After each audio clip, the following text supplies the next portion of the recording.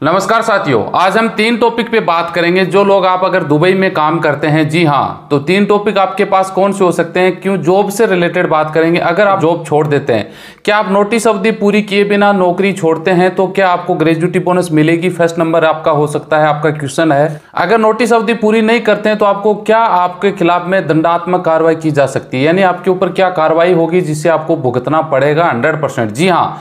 तीसरे नंबर पर बात करें, अगर नोटिस अवधि पूरी नहीं कर करते हैं, उसकी जगह आपकी जो बकाया कंपनी में छुट्टी थी, उसकी क्षतिपूर्ति उसमें कर सकते हैं। जी इस तीनों से रिलेटेड तीनों क्वेश्चन इंपॉर्टेंट आपके हो सकते हैं। अब आपके ऊपर कौन सा क्वेश्चन लागू होता है, वो आप सोच सकते हैं। तीनों का आंसर मैं इस वीडियो में देने वाला हूँ। आई होप वीडियो पूरा देखिए अच्छा लगे तो भाई लाइक शेयर करिए। चैनल ज़रूर सब्सक्राइब करके बेलाइकन ऑन कर लीजिए। फेसबुक पेज वाले पेज को फॉलो करके रखें, ताकि हर रोज आपको विदेश से रिलेटेड नई नई अपडेट मिलती रहे। तो चलिए शुरुआत कर लेते हैं। जी हाँ साथियों, ये पूरा प्रोसेस दुबई का जो रोज़गार कानून है, उन्नीस सौ अस्सी, उसके एक्ट में और साथ में 2015 में मंत्री स्तरीय एक मीटिंग होती है, उसमें कुछ कानूनों में फेरबदल होते हैं। जी हाँ डिग्री संख्या सात में। उसमें यह प्रावधान किया गया है कि अगर आप नोटिस अवधि नोटिस अवधि देखिए, दो प्रकार की होती है। लगभग कंस्ट्रक्शन वगैरह में आप काम करते हैं, एक महीने की होती है। बाकी जैसे एजुकेशन क्षेत्र में कोई काम कर रहा है, एजुकेशन डिपार्टमेंट में टीचिंग का काम कर रहा है तो उनकी अवधि होती है तीन महीने। जी हाँ अगर ये नोटिस अवधि, आप नोटिस देके नोटिस अवधि पीरियड आपको काम करना होती है, यानी नोटिस सेवा जिसको बोल सकते हैं। जैसे एक महीने से तीन महीने के बीच में आप भाई आपने आज नोटिस दे रहे हैं कि, भाई, मैं जॉब छोड़ूँगा। तो आपको कंपनी एक महीने काम करवाएगी। और एजुकेशन डिपार्टमेंट में कई में तीन महीने की आपको नोटिस अवधि होती है तो उसमें तीन महीने तक आपको काम करना होता है।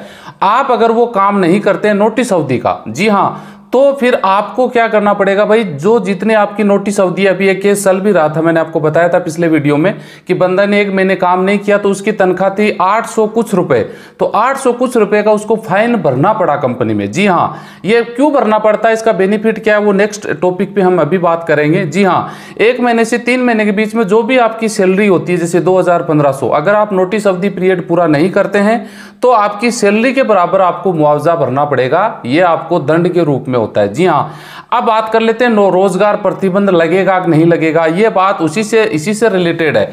अगर आप नोटिस अवधि पीरियड पूरा नहीं करते हैं, जी हाँ देखिए, आपको नोटिस देना होता है कि भाई मैं अगले महीने में काम छोड़ दूँगा तो आपको एक महीने का नोटिस अवधि है दो, तीन महीने का है, वो आपके ऊपर डिपेंड करता है। वो नोटिस अवधि पीरियड आप कंप्लीट नहीं करते हैं तो आपको फिर क्या करना पड़ता है? मुआवजा भरना पड़ता है आपकी सैलरी के बराबर का। एक महीना, दो महीना, तीन महीना, जो भी है, वो भी अगर आप नहीं भरते हैं, एक तो आपने नोटिस अवधि कंप्लीट नहीं किया, नहीं, आपने नोटिस नहीं दिया, मनमर्जी से इस्तीफा दे रहे हैं। दूसरे, आपने नोटिस अवधि की जो सैलरी थी, वो आपने दंडा आपके फाइन के रूप में आपने नहीं भरी तो आपने दो नुकसान कर दिए। तो फिर आपके ऊपर रोज़गार प्रतिबंध लगेगा। एक साल, दो साल, जो भी होता है। जी हाँ अगर आप अपनी सैलरी के बराबर मुआवजा भर देते हैं नोटिस अवधि का तो आपके ऊपर प्रतिबंध नहीं लगेगा। आपका इस्तीफा स्वीकार होगा, तुरंत प्रभाव से वीज़ा कंपनी कैंसिल करने के लिए भेज देगी। पाँच सात दिन में जैसे वीज़ा कैंसिल होगा पासपोर्ट पकड़ा दिया जाएगा और आप यहाँ से निकल सकते हैं। जी हाँ नेक्स्ट बात कर लेते हैं साथियों, ग्रेजुएटी बोनस। जी हाँ ग्रेजुएटी बोनस कब मिलता है, नहीं मिलता है, इस पर भी बात करेंगे, क्योंकि दिक्कत ये आ जाती है कि भाई आप नोटिस टाइम भी पूरा नहीं कर रहे हैं, आपको ग्रेजुएटी, आपके जो आपका बोन फाइन है, वो भी आप नहीं दे रहे हैं। तो इस पे एक प्रावधान किया गया है। जी हाँ अगर आप सीमित अवधि पे ग्रेजुएटी बोनस सीमित अवधि अग्रीमेंट होता है, सीमित अवधि अग्रीमेंट का मतलब जैसे आप एजुकेशन डिपार्टमेंट में है तो एक अग्रीमेंट होता है, पाँच साल आपको जॉब करना है, तीन साल, आठ साल, दस साल। जी हाँ वो अग्रीमेंट आप पूरा नहीं करोगे तो आपको बोनस नहीं मिलेगा। इस बात का ध्यान रखिएगा भाई बोनस ग्रेजुएटी बोनस बिल्कुल नहीं मिलेगा, बाकी अन्य क्षेत्र में मिल जाता है। वेतन की गणना की बात करें, चार नंबर पॉइंट हम बना लेते हैं वेतन वेतन मिलेगा, नहीं मिलेगा?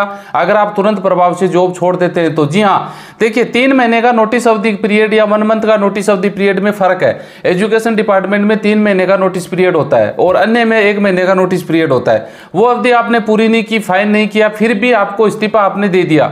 लेकिन इसमें से बताया गया भाई, रोज़गार कानून जो सेवन नाइन है, जी हाँ अनुच्छेद सेवन नाइन में यह बताया गया है कि एक कर्मचारी वार्षिक, जी हाँ दिनों के अवकाश के बराबर वो अपना सैलरी वेतन वेतन का लेने का हकदार होता है। यानी आप इस बात को समझिए कि आपने नोटिस अवधि कंप्लीट नहीं की, आपने नोटिस अवधि का, आपने जो जुर्माना वो भी नहीं भरा। आपके ऊपर प्रतिबंध लगेगा, लेकिन बकाया जो सैलरी वगैरह है ना, वो आपकी मिल जाएगी। ये नहीं कि आप ये नहीं करोगे तो कंपनी पीछे के पैसे नहीं देगी। हाँ उसका फाइन भरना पड़ेगा। नोटिस अवधि कंप्लीट कर दोगे तो फाइन नहीं भरना पड़ेगा, प्रतिबंध नहीं लगेगा, रोज़गार प्रतिबंध, और आपका जो भी पैसा वगैरह वो मिल जाएगा। ये और ये अगर नहीं भी आप करते हैं तो भी आपका सैलरी वगैरह वगैरह है, उसमें कोई दिक्कत नहीं आएगी। वो आप अपनी सैलरी प्राप्त करने के अधिकार हैं, जो भी आपका अग्रीमेंट के हिसाब से है। तो आई होप ये तीनों क्वेश्चन आपके थे, आपको आंसर मिल गए होंगे साथियों।